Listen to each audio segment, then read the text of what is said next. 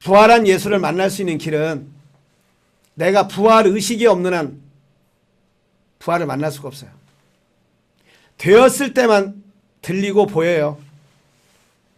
자, 그럼 나 된다는 건 뭘까? 머리, 가슴, 배를 통합하는 것. 내 안에 하늘과 땅과 사람이 들어있구나. 이걸 어떻게 내가 통합해서 갈까? 우리는 그것을 크리스마스라고 합니다.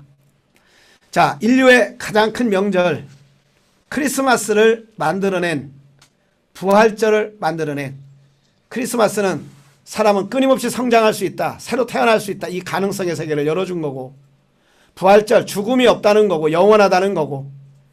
자, 우리에게 두 명절이 있습니다.